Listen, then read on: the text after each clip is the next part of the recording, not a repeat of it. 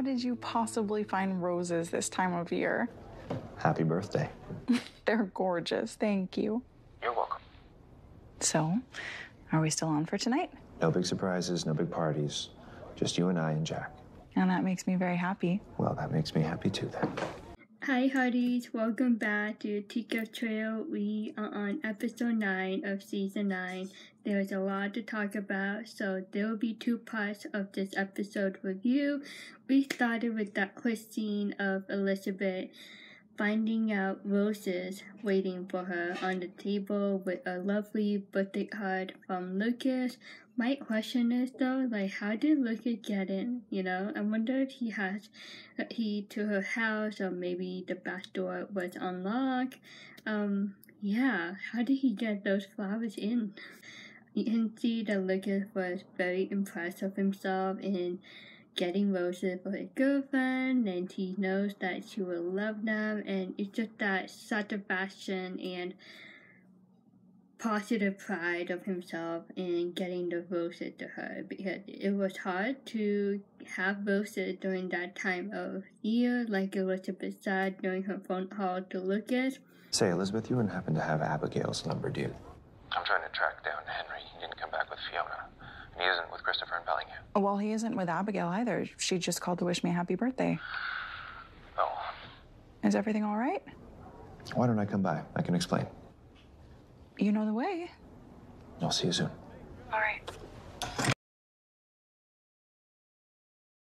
If you pay close attention to the episode, there were a couple of scenes where you can see the leaves on the ground. So we are definitely in the season of fall, autumn, and it's Elizabeth's birthday, and it's really nice we get to celebrate and see Elizabeth celebrate her birthday with little Jack and Lucas in this episode. I don't want you to worry, but I think you should know what's going on. When you say you don't want me to worry, Wyman Walden is back. you thought he was gone for good. Why do you think he's back now? I have a fair hunch, but I need to explain something to you first. Here is the big story of the episode. Walden is back in town, and if you watch the episode, he literally walked in into Lucas' office after Lucas hung up the phone with Elizabeth, and he and Walden literally sat on Lucas' chair like he owned the office and the saloon, and I'm just like, what the heck are you doing? He is strengthening Lucas um, forcing Lucas to sell the saloon to Walden, and this is a really big story of the episode. My black eye. I got it because I refused to continue working with Walden. You were working with him? I was trying to let him run a grift on me, a swindle, so I could beat him in his own game. Why would you do that? Because these kinds of people just think they can take whatever they want. I was trying to operate a sting, have him arrested by my contact at the Treasury Department, my friend from New Orleans. She's been after him for some time.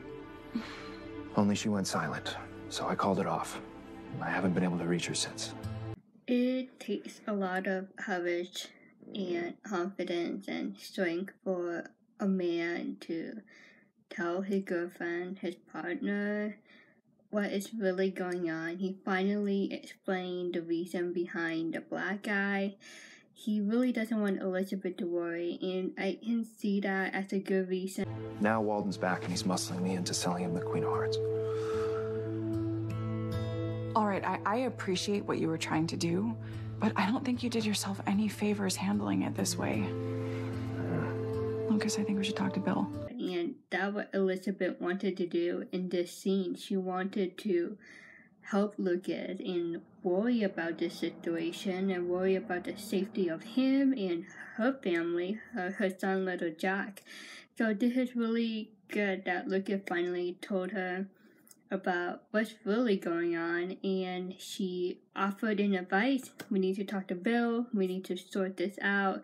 And it's nice though, Lucas told her and she can like give him some advice and perspective on how to proceed and she can also give him advice on what to do and what not to do. Uh, Lucas cannot handle this by himself. Need to go to someone that can help him uh, with the legal side of this situation. Um, of course, Elizabeth most likely very disappointed of what her boyfriend did or tried to do. Um, but she knows that he did it with a good intention, but it did not work. May I be worried now? When you're in a relationship, you really need to be open and honest about the good things and the bad things. And that's the purpose of relationship. You go through life together, you are happy together, you celebrate good things, but you also deal with challenges and obstacles and you worry together. Not his fault. I asked everyone involved not to discuss it. It's really nice Bill right away told Elizabeth did not look at fault. He did not hide it from you for a bad reason. I told him not to tell anyone really. There's a very real possibility the coal mine could be reopened. Reopened? By, by whom? Smith and his investors through the oil company if they become majority shareholders. And because coal is used to make steel, they'll likely be the foundry supplier. Bill and Elizabeth been in Hope Valley for a long, long time. They know the past, the history of that mine. No one wants to reopen that mine because it's just a bad memory for Hope Valley. Like what happened to that mine in the past is just something that you don't talk about, something that you don't open. Like people don't want to go back to that bad past of that mine. That's why there hasn't been any construction out at the foundry. Coal was the missing piece to make this happen. And that's why Walden's back. He must have heard of deals in the offing. I just don't understand. The judge ruled that the mine could never be reopened. Judge Parker, who made that ruling, died last year. And reopening that mine is gonna bring up a lot of emotion and bad memory for the people of Hope Valley. Lucas, I assumed he learned the history of that mine and how it brought bad memories to the people of Hope Valley. You can see him looking down in the scene, just like, oh boy, like Elizabeth not gonna like this. I know she's not gonna like Walden and Smith and the investor reopening the mine. She's gonna freak out. Like she knows what happened to that mine and how it affected the whole town. The oil company will no doubt challenge that ruling and have very deep pockets to do so. And Walden is here to take advantage of the whole situation. So what do we do? Well, we do the only thing we can do. We let Walden buy the Queen of Hearts. You can see Elizabeth as you find more information from Bill. She's just like, this is bigger than I thought. This is more than what Lucas told me so far. Like, this is really serious situation, and my boyfriend is involved. Like, this is like season six again, but on the grander scale. It's just like bigger. Um, so this is this is a tough situation, not only for Lucas and Elizabeth, but for Bill in the town of Hope Valley. Hope Valley versus Walden and his guys. This is not really good. And I think someone, I'm sorry, I forgot your name. Someone mentioned, Smith was mentioned in the past. I think season six. Somebody mentioned to me on YouTube. She was like, yeah, the name Smith was mentioned before, I think by Henry. Something happened in season six, so this is actually already a foreshadow coming true in season 9. Smith actually finally appeared in Hope Valley in season 9. Were you not going to say goodbye? Of course. I only found out this morning, and I've and I've been rushing around ever since. Found out what? Jeffrey's pursuing the false charge against me. So I'm required to appear in the court of jurisdiction back in Chicago. I cannot believe Mei is leaving. Like, I thought she would stay in Hope Valley for good. Like, is she just such a recurring character of season 9? Like, is she not ever gonna come back? And there's something that happened after this scene that made me question, like, okay, maybe it's not me and Nathan. Uh, we would talk more about that later on. So Nathan just like, you didn't tell me, like, you're gonna say goodbye to me just now, just like that. You didn't give me enough time to prepare, even though she just found out that morning, like, it wasn't really her fault that she didn't tell Nathan right away. Where do you want me to go with you? You have no idea what that means to me. But you can't leave Allie, and I have no idea how long I'll be. Well, I could call the deputy chief. You're the one that Bill spoke to. I, I can make sure that you're safe. We're very considerate of Allie, like, don't leave Hope Valley because of me. You have a daughter to raise, like, your job, your life is in Hope Valley. Like, don't leave for me. And Nathan was willing to take that sacrifice and leave Hope Valley and Allie behind and take off with Mei to make sure she was safe and to basically win her back and bring her back to Hope Valley. I'm not afraid of Jeffrey anymore.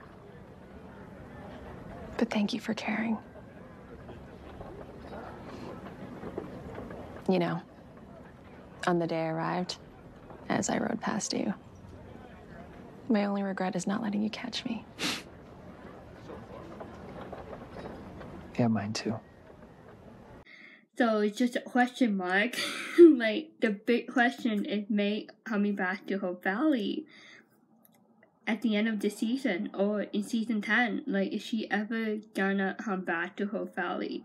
And there's some other question that arose in this episode that put a question mark on Nathan's future love life. Like is there another woman that the writers are um targeting for for him uh, that is not Mei? Uh, we would talk about that. Listen, Mei, I um I owe you a lot for helping me. and for helping Newton. So I, I just want to say thank you. You're welcome. I felt so, so sad for Nathan. And it was really nice of him to thank her for everything. Like, you're a great friend to me. That's number one. And you helped me so much with myself and my horse. You were there for me since the beginning. And it was very heartbreaking to see Nathan watch this great female friend walk away from his life, not knowing if she will ever come back. And that is really, really tough. Can I walk you out? Would you wait here? I really don't want to say goodbye.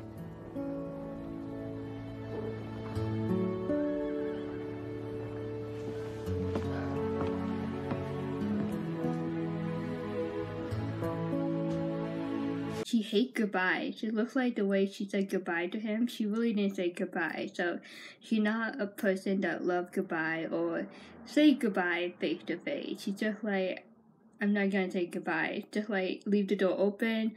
I might come back. I might not.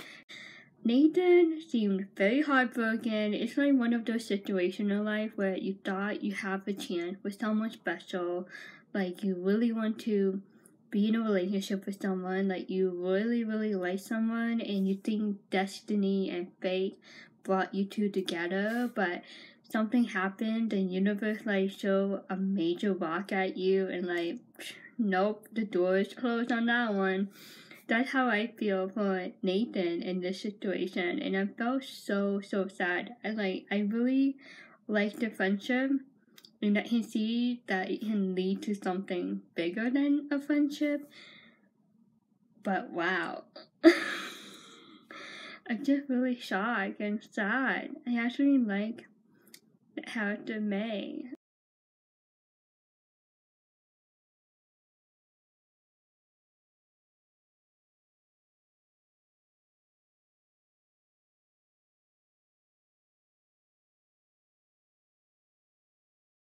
Nathan, of course, he stepped out of the saloon and wanted to see her. It's like in real life, like when you want to say goodbye to someone and you have this long distance relationship or you have a a friend or someone that lives like in a country far away and you have to say your goodbye, like, you know, you hug as much as you can, like you want to see the last second, last image of that person in front of you and capture it and and just enjoy that last image of that person, if that makes sense. Like Nathan could have like stay inside the saloon and just like went off his usual day instead of like watching Mei leave. I think Nathan stepping out of the saloon and watching her leave is basically how he is feeling. Like he's really sad and he didn't really want her to go. And he took every last opportunity of seeing her like right there in front of him and to get a good last picture of her and to capture that memory of her face and all the time that they had together. I hope that makes sense. Uh, the other thing I want to talk about in this scene is Faith. Mei said goodbye to Faith, um, not Nathan. So that also shows how Mei is feeling for Nathan. She doesn't want to leave. Like there's no way she wanted to leave Hope Valley, but she had to for that reason. Jeffrey like I had a bad feeling like he would do something against Mei after last episode, and I was right. Like he he planned something. He is not giving up on Mei, and just just torture for her. So she said goodbye to Faith, but not Nathan. And the last thing I want to talk about is Faith. And someone on social media was talking about how Elizabeth had those three topics. Um, for a season, uh, for a reason, um, and for a lifetime. If you remember during season eight, and I was thinking, okay, if Mei is like one of those three categories, and Faith maybe a lifetime, and I'm just like starting to question myself, and I'm like, what is going on in Nathan Life life? I'm probably wrong, but I was just like randomly thinking, okay, Elizabeth for a reason, Mei for a season and Faith for a lifetime, that would be like a crazy twist. Not like surprisingly, not a surprise 100%. Like we, some of us have like guesses of, oh, it'll be Nathan and Faith, it'll be Nathan and Fiona, it'll be Nathan and Mei, it'll be Nathan, um, someone that we don't know. Um, so yeah, this is really interesting. I'm probably overthinking again, but when I saw Faith um, saying goodbye to Mei in this scene and Nathan just watching the interaction between Faith and Mei, I'm like, it did mean Faith the one for Nathan? what happened? This monster started attacking me. Oh. Uh, will you help me clean up? You don't have another mop? All right. Oh, I just saw Mei. Oh, that poor woman. What Florence said, the monster uh, started attacking me. I thought it was so funny when I watched on Sunday night. That's like the line of the episode, in my opinion. Does Faith think she'll come back? We've talked about it, but I doubt Faith can give an honest answer. Why is that? She's been rather subtle about it, but ever since his accident, I'm of the opinion that Faith is carrying a torch for Nathan. Well, what about Carson? Their relationship was on the wane, even before Carson left. I'm going to stop it here. Part two will be focused on nighttime in Hope Valley. A lot of things happen during nighttime in Hope Valley, and a lot of Lucas and Elizabeth content coming up really soon, and some few things that happened the next morning. I will save that for part two. It will be up within a day or two from this video. Um, but I want to leave it here. Um, I didn't really plan to bring this scene into play, but I really wanted to talk about it because it raised a lot of questions for myself. I'm like, okay, this is really something. So maybe Faith is the one for Nathan. Um, what Molly said in the scene, I'm like, is that like a foreshadow? Is that like a hidden subtle message from the writers to the audience of the show? Like, okay, so Mei probably never gonna come back, and Nathan and Faith will end up together. Uh, that would be an interesting twist. Um, not a 100% surprised, like we kind of knew there was something going on with Faith and Nathan a little bit, but um, it's just something that was like in the back burner and now it's coming back into the light and you're like okay Mei is out of the picture who will be nathan love of his life? Like who? He'll be faith he'll be someone new.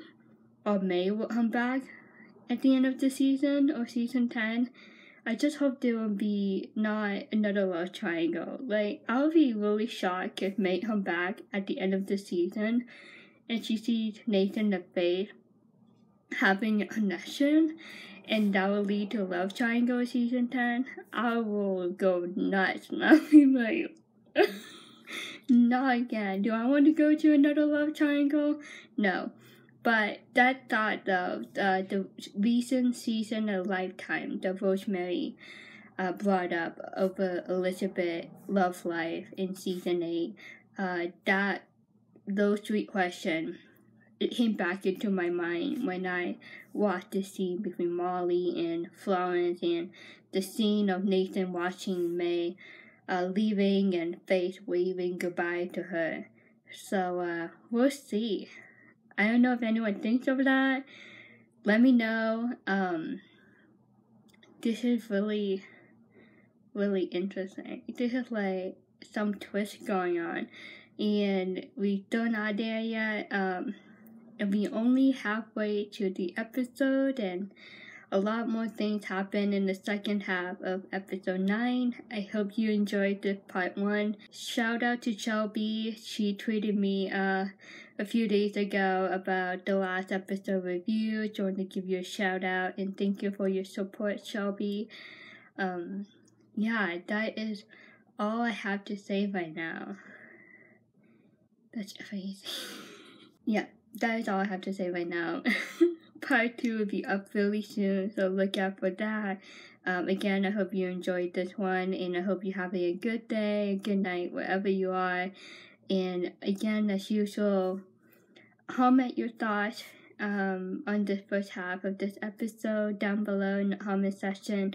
I apologize for YouTube comment section. Um, last episode, not a lot of people commented, so I'm not sure if it's YouTube or if I covered everything, but I apologize. I really tried my best to keep the comment section on. Um, it's really a battle with YouTube whenever they do that. Um, but yeah, feel free to comment anything on this first half. See you very soon. Bye.